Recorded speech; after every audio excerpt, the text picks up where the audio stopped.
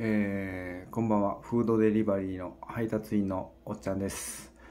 えーと、まあ、ようやくね、ウーバーイーツでね、あの、車両の変更手続きができました。いや、なんか風強いですね、今日。うん。あので、早速ね、あの、お仕事してきたんですよ。なら、あの、アプリがね、途中で落ちてね、多分あの、車車両の変更手続きみたいなのができたから、いっぺんあの、再起動かなんか、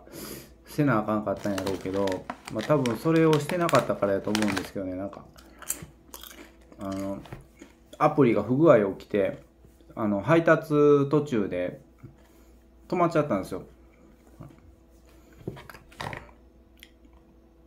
えーまあ何を言ってるかっていうと今僕はあのウーバーイーツのねフードデリバリーの配達員してるんですけどあのあの原付でやってたんですよ。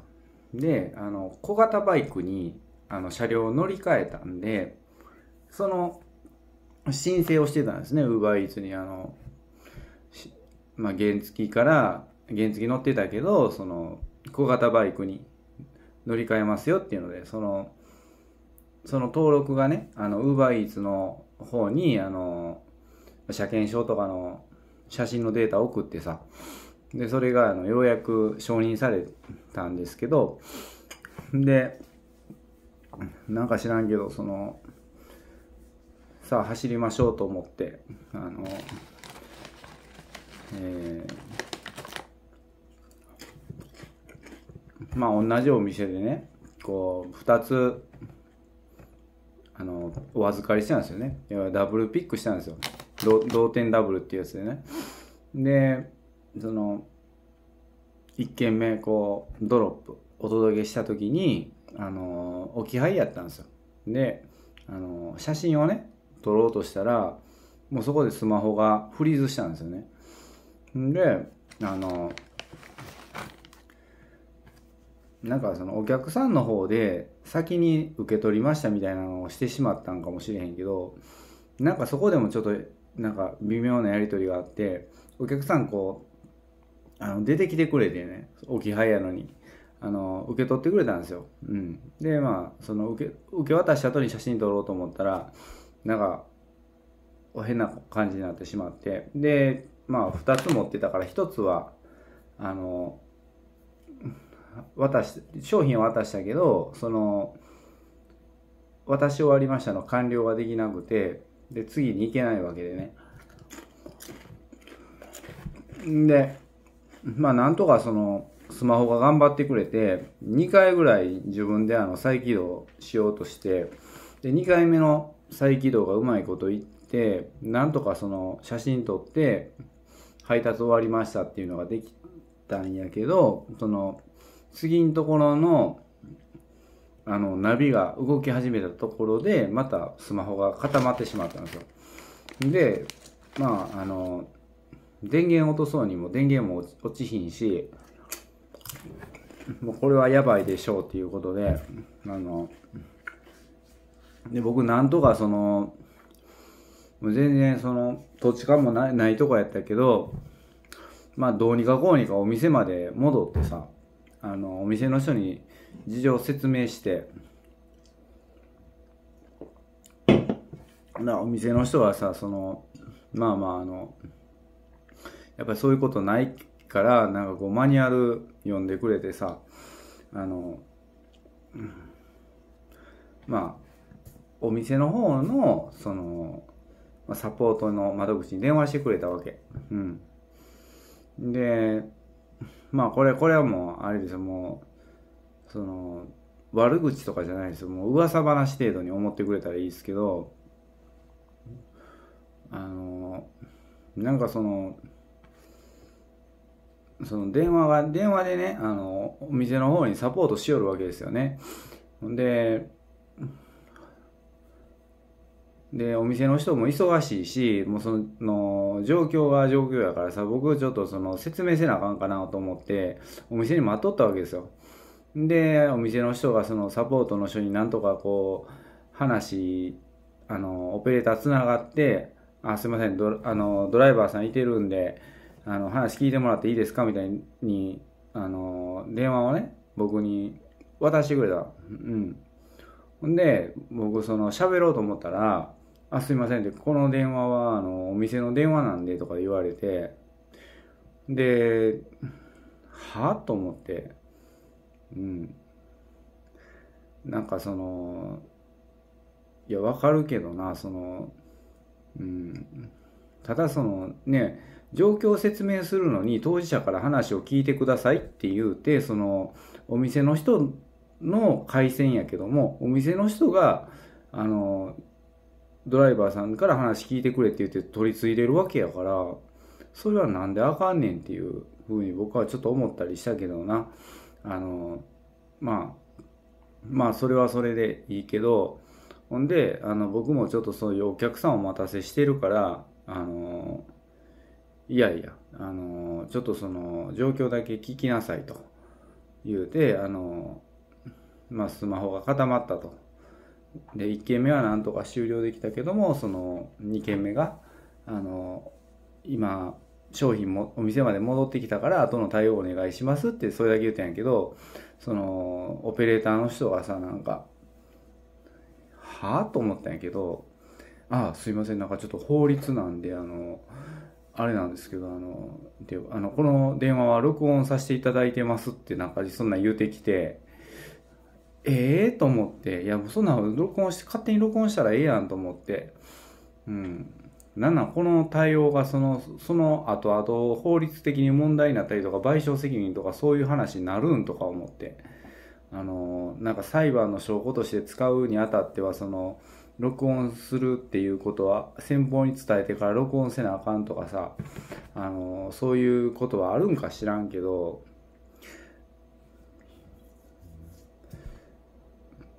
ちょっと意味わからんなと思って、うん。うん。なんなんそのマニュアルの台本通りに喋らなあかんのみたいに思ったりしたけどな。もうもうはっきり言ってそのそっちのサポートのマニュアルであればそのお店の人としか喋りませんっていうことなんやったらあのな。そんな別に録音しますとかしてますとかっていう話をあのわざわざ確認する必要なくない。うん、うん、それせんかったら評価下がるんかな、うん。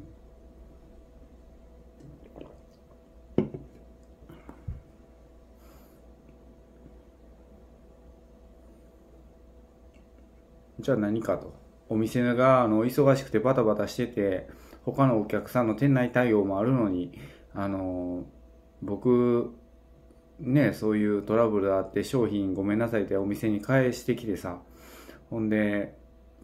あの、お店の人がさ、あの、わざわざサポートに電話してくれてさ、な、僕の携帯あの、ね、スマホをフリーズして動かへんからさ、な、あの、全部お店の人に対応させるんかいって思思ったけどな。うん、そこはなんかその配達パートナーなんやからさそこは信頼関係持ってなやってほしかったけどな、うん。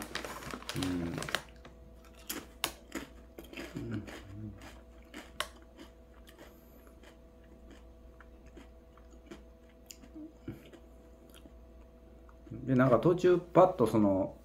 あの一瞬ウーバーの画面見えたけどそのなんかシステムのエラーかトラブルエラーかなんか出てますとかで配達依頼をストップしてますみたいなそういう告知が出とって。うん。だからそのな何やったんやろなその、うん、アプリの側の問題なんか僕のスマホの側の問題なんか分からへんけどスマホの側の問題やったらねすぐ修理するなり機種変更するなりせなあかんよね。うん。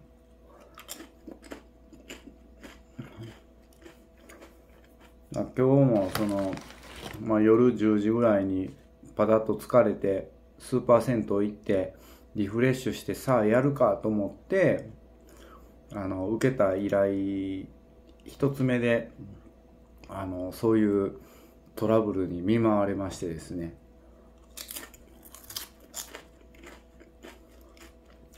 だからもうそんなんなるんやったらもう銭湯入らんと家帰ってきてもくたっと寝たらよかったわ。うん。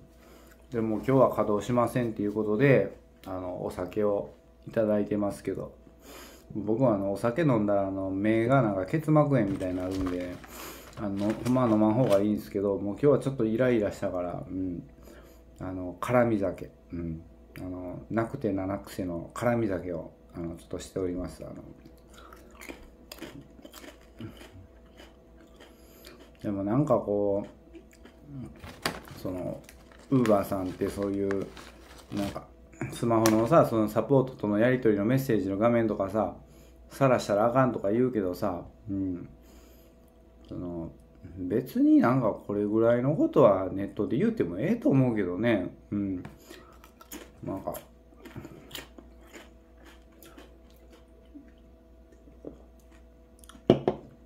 別にそのなんていうこの別にサポートの誰やとか個人名も出してへんしさお店の名前も出してへんし、うん、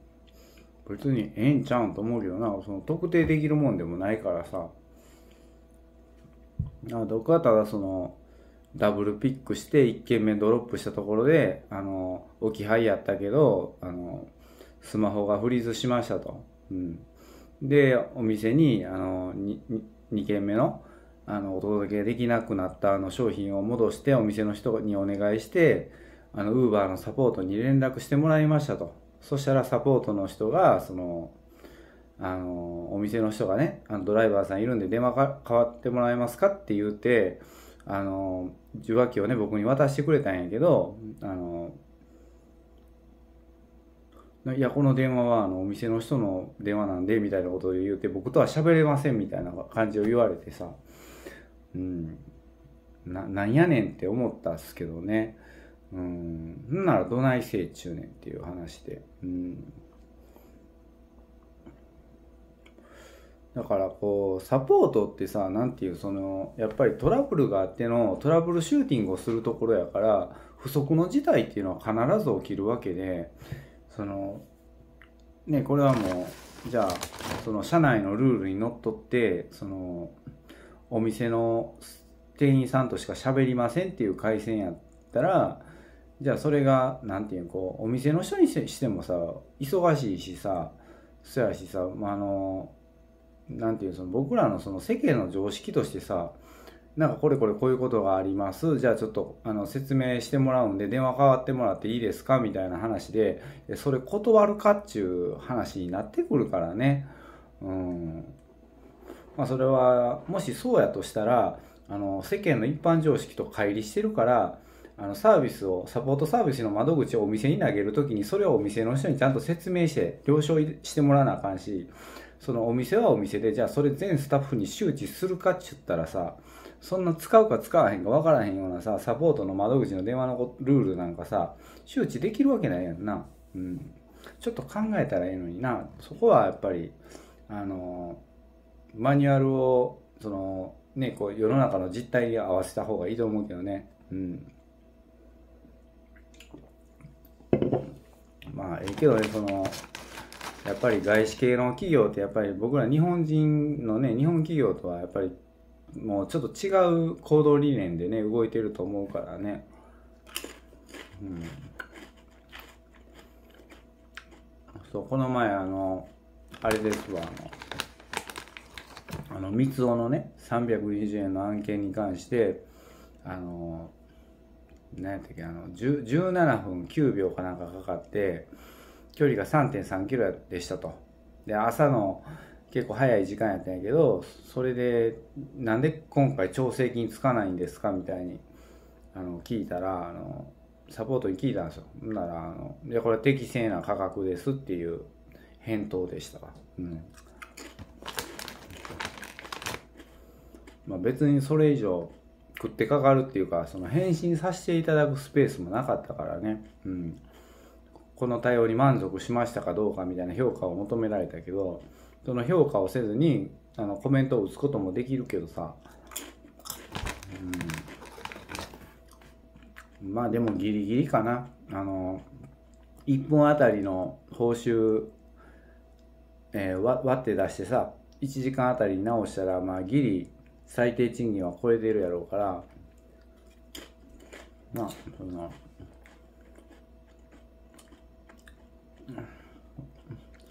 ちょっとわからんけどね。うん。でもその、労働基準法っていうのはその、最低賃金の法定のね、最低賃金を、それを理由にして最低賃金まで、あの、賃金落としていいっていう、それを理由に条件を解約していいっていう法律じゃないからね。うん。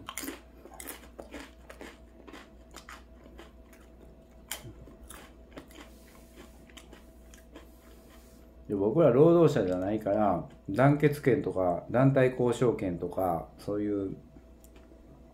ないからねうんまずその労働労働者としての地位を確認せなあかんっていうところからね始まるんやけどそんなん確認できひんちゃうかな。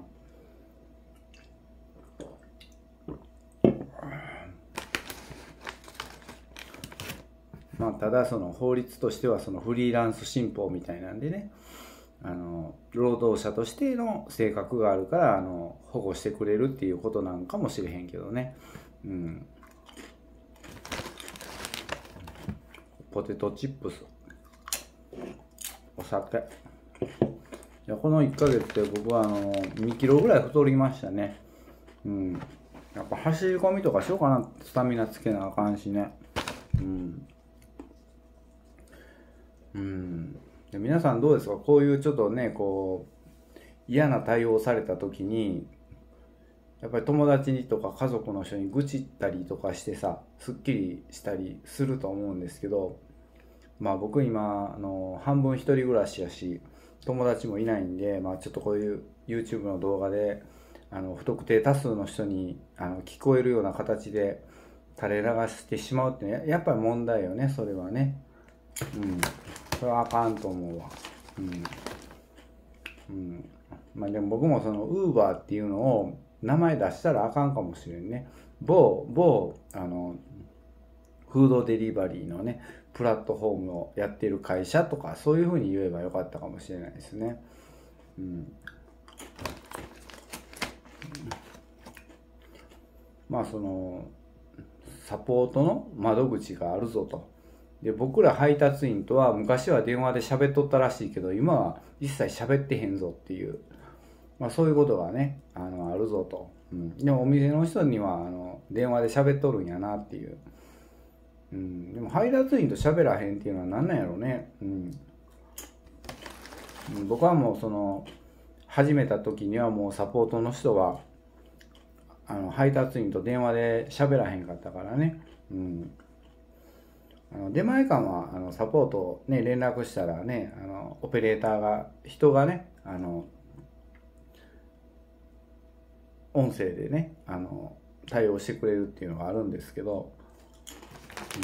ウーバーさんはないですね。メッセージだけですね、うん、で AI, AI というかそういう自動案内が入ってくるんで、うん。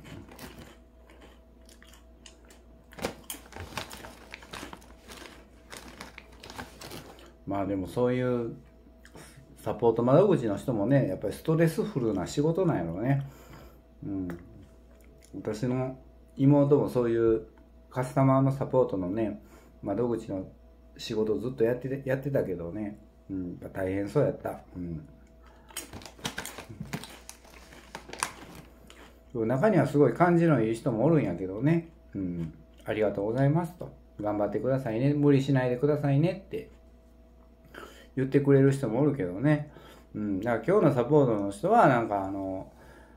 あ、の、スマホ止まってるのにね、あの、お店まで戻ってこられたんですねって、商品返してくれたんですねって、ありがとうございますって、なんか、ね、そのお店の人にもう無理言うてさ、サポートに連絡してくださいって声かけてくださくださったんですねっていう、そういうところをまずね、できる人であったらよかったけど、それはもうマニュアル動向じゃなくて、心よな。その、サポートしてくれる人の心やと思うわ。うん。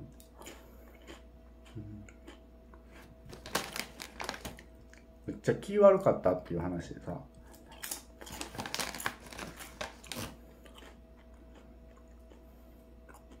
お店のねそのサポートの電話窓口やからあの配達員さんとはあのお話できませんと。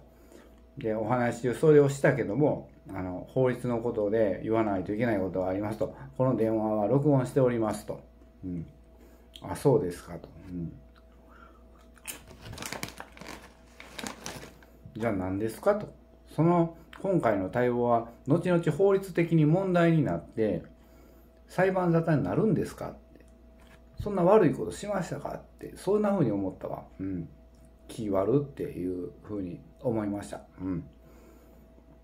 まあおっちゃんはちょっとねあの酔っ払って絡み酒でねあの怒ったふりを、えー、しました。はい。まあでもこうテレフォンオペレーターっていうかサポートの人もね結構ちょっとこう神経質になっちゃう人も多いからねやっぱり上司とかからね、こうそういう指導を受けるんでしょ。で、一回指導を受けたことに関して、やっぱり真面目な人って、絶対守らなあかんわってななってしまうもんね。うん、で、それを守ることで、あの、まあもう次は怒られないだろうっていうようなね、そういう思考経路に至るんでしょうけど、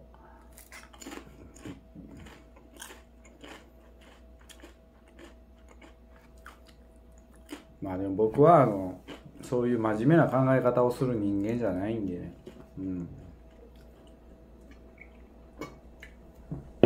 そう。そうなんですよね。うん。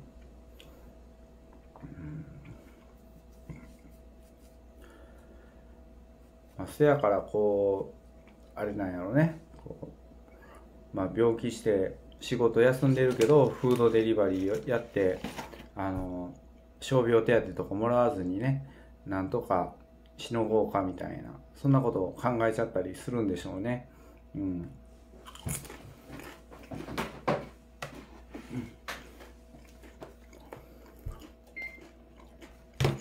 でも僕もその何やろそういうスマホがトラブった時のためにあの配達員さんによってはあの予備の予備のねなんかあのえー、機種をねあの昔使ってたスマホの本体とかを持っとってさあの SIM を差し替えたらあの使え使えますよみたいなのがあるからそういうなんていうこの事故事前事前の事故防止策みたいな自己対応策みたいなのをねあの講じてる人もいるっていうのは聞くんですけどね。うん、だから夏場とかでそういう異常発熱でスマホがもういつお釈迦になってもおかしくないみたいな時はあのそんなんしといた方がいいかもしれませんね。僕もちょっとこうスマホがあの昨日か一昨日かあの異常発熱でブラックアウトした後やったからスマホの本体の不具合なのかそのアプリの方であの車両の変更をしたことの不具合なのか置き配でその置き配をする前にお客さんが出てきて商品持っていったことに対する不具合なんか。で、まあ、ちょっとそのすぐにあの家の前からちょっと離れたところで写真を上げようとしたことでね。なんかそういうのとかいろいろあってあのそういうアプリのね中の情報処理に負荷をかけてしまったんか分からへんけど。うん。ただやっぱりそのなんとかなんとかのね、あの、ウーバーさんのね、サポートの人は、あの、お店に対するサポートの人はね、あの、こっちは善意、善意っていうかさ、あの、なんとかそういうお客さんに迷惑かけやんようにしようとか、なんとかしようと思って、あの、必死に対応してるわけやから、それはじゃああなたの話聞けませんみたいにいきなり、あの、シャットアウトされたら、ほなどないせいちゅうねんっていう話になるからね、うん。なんかそのウーバーさんにしたらなんかもうなんかそういうお客さんにトラブルあって商品届かへんみたいな時はあの返金したらいいわみたいな。あのそういうそれで済ました方がなんかこう法的にはそれで OK やからみたいになってるかもしれんけどそんな顧客満足なんか一生上がらへんしね。そんなん1個したらそれでねあのクレーム広がってやっぱウーバー頼んだらあかんなっつって。なるからね。うん、出前館で頼もうかみたいに。ちょっと高いけどしっかりさサポートしてくれるとこの方がいいよねみたいになったりするからね。うん。まあでも僕はもうその出前館のサポートの人は一回電話で喋ったけどすごい上からやったからもう二度と電話したくないと思ったけどね。うん。うん、なんなんやろうね。その僕もそういうまあその相談職とか介護職とかやってきたけどうんだから余計にこう相手に与える印象とかって考えるよね。うん。やっぱりその自分の吐いた言葉ってこう自分の出した言葉やけど相手の受け取り方によってさあのいい印象にも悪い印象にも変わるからそのなんちゅうかその、うん、自分の出し吐いた言葉って自分の言葉やけど相手が受け取ったらもうその時点で相手相手のね受け取ったもんになるからね、うん、その相手がどう受け取るかっていうのはあのなんかいやいやそあのそういうつもりで言ったんじゃなくてみたいな。そういう話はもうすぐにその場でしとかんとな、うん、誤解を与えているというかその自分の伝えたいことが伝えたいように伝わってなかったりとかすることってよくあるからね。うん、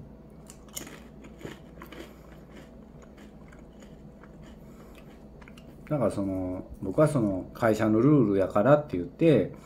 その自分のペースでねこうなんかこう話進めようとされたんが、まあ、ちょっとこうカチンときたかなっていうのはありましたね。うん。そうまあ、分からんけどね、その、ウーバーはなんかそういう、そういう対応する人を高く評価してるんかもしれんしね。うん。まあ、ただ、この動画を、その、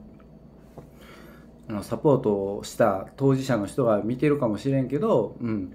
あの別にその俺のことを悪く言われてると思う必要もないし、うん、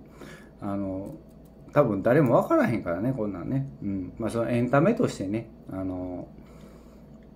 あの僕らの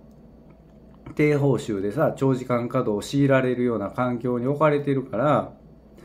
あのまあ要はそこの中の人というかウーバーのねサポートの悪口とか言ったらさやっぱり多少のガス抜きにはなるわけですよ。うんだからその俺なんかその時はちょっと雨降ってきてさイージスのカッパ着てスマホ固まってさもうあたふたしとったけどさサポートの人はさ空調も整っててさあの、まあ、夜中か知らんけどさええ環境で仕事してるわけでさ別になんていうのそ僕らみたいにその荷物持ってる時間しか給料もらえへんのじゃなくてさ拘束されてる時間ちゃんとお給料出るんやろうからさまあ、そういうなんかこうね苦情とか言われるのは、まあ、それはしょうがないんちゃうかなって僕は思うけどね。うん。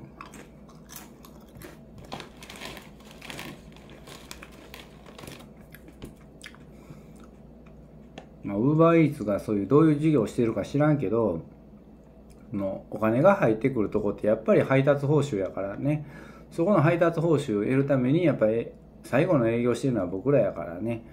うん、だその、ね、現場の人に嫌われへんようにねそれは気をつけてくれたらいいかなと思いますけどね、うん、まあ僕はもうその僕はもうそのろうそくの日みたいなもんでねあのウーバーさんがふっとこう息かけたらすぐねバンされてもうさよならになっちゃうからね。うん。うん、でもだからといってねさ何でもかんでもさ謙虚にさ「ありがとうございます」言ってさ「気をつけます。申し訳ありません」って。あの「ありがとうとごめんなさい」しか言わへん。パーソナリティじゃないからね。人それぞれあの心があるからね。うん。そう。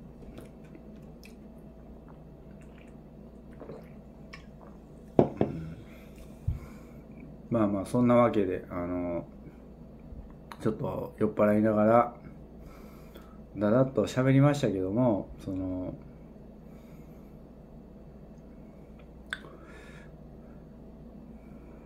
あのウーバーイーツさんはあのお店に対してはあのサポートですね。あの人のねあの電話サポートしてますと。でそこのサポートさんはあの、まあ、ルール上配達員とはおしゃべりしないようですと。僕はそのルールを曲げてあのちょっとトラブルの状況を報告するためにお耳をお借りしましたけどもあの録音してましたけどいいですかみたいに言われてあのすごい嫌やったっていうそれがじゃあなんか問題になるんかって思ったって、うん、そんなこと言われたらじゃあお前訴えたろうかみたいになあの言われてんかと思うもんなその。なあの。その訴えたところでさ訴えた後のさそのなんていうのその訴えた後のその司法手続きがさスムーズにいくかどうかっていうのはさあのおそらくそのその時対応した裁判官のさ心証によるところが大きいからさ、うん、自由な心証でさやっぱ判決出せるわけやから、まあ、そんなその録音したことをあの裁判所にあのこれこれこういうことがありましたってこれは録音しました無断で録音しましたっていうのもさあ私はこういうふうに聞いたんであのメモしてますと。そういうメモを出すのもさあの同じことやからな。うん。そう。じゃあそのメモに対しての信憑性があるかないかってなった時にいや実は録音してたんですみたいな話でさ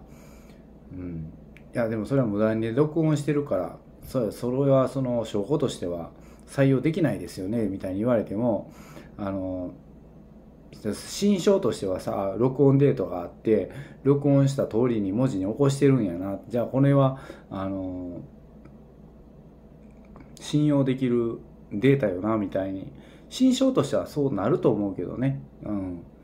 まあ、その判決にはあの左右してはいけないのかもしれへんけどね。証拠として採用できない以上そこは無理かもしれんけどまあまあでもその心証作用することはあると思うけどね俺はね。うん。まあまあちょっとこう喋ってねすっきりしました。うん。あのストレスをねためないっていうところでねこんなところで吐き出してしまいましたけどね。あのお目汚しお耳汚しで申し訳ありませんでした。うん。まあそんなわけで僕はちょっとそのウーバーの、えー、アプリがちょっと固まってしまったので、えー、っとまあちょっと途中で稼働やめて家帰ってきてもお酒飲んでも運転も終了と思って、うん、まあちょっと明日、明日はちょっと僕、明日っていうかまあ朝になったらね、ちょっと家族サービスの日なんで、あの日曜日、今週の日曜日はあの稼働しないですけど、次稼働するときはね、あの、今撮ってるカメラとは別にこの前に使ってたねスマホを一応予備で持っと持ってとこうかな。でこの SIM 入れ替えれるようにここのあのちっちゃい穴に刺す爪楊枝がピンかなんかもね持ってやろうかな。うん。そう。まあでもごっつプレッシャーですけどねあのスマホが壊れるかもしれない壊れてるかもしれへんっていうね。うん。これでもまだスマホねこれ半年経ってないけどね。うん、ああって感じですね、うん、もうすでにボロボロやけどねあの配達中に落としまくってね、うん、まああの口聞いてもらって。ありがとうございましたあの今日はあのアプリが固まってスマホもフリーズして途中で、えー、配達終了でした。ありがとうございました。